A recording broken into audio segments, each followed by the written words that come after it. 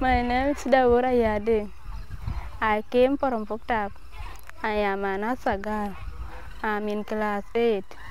I am 14 years old. Thank you, Joann and Katherine, Olivia and Hadley.